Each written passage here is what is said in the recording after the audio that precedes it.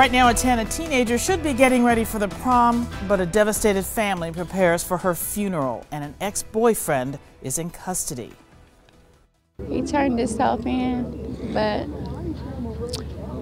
it's not gonna make me feel better. It's not gonna make me feel better. It's not gonna take the pain away. Tonight, loved ones held a vigil to remember 18-year-old Kiara Brown. Her family says she was lured to her death. Rebecca Klopf live tonight at Milwaukee Police Headquarters with more.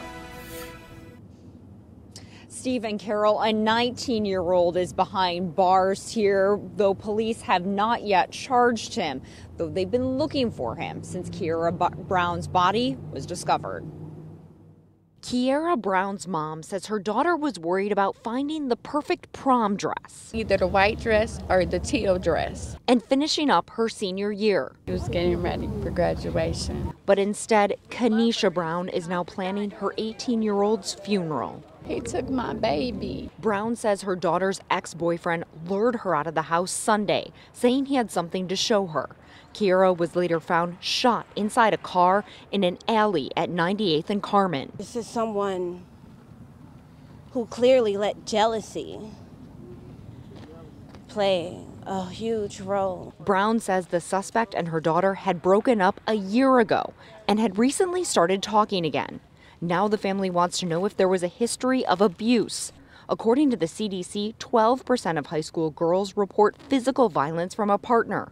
But Milwaukee's Domestic Violence Commission says the numbers are much higher. It's like one in three uh, youth have experienced that. That's quite a bit. And um, it can be very volatile. Police say a 19 year old man has turned himself in in connection to the murder. But Kiara's family says that doesn't bring back their daughter. Even if I get answers, that won't be enough that won't be enough.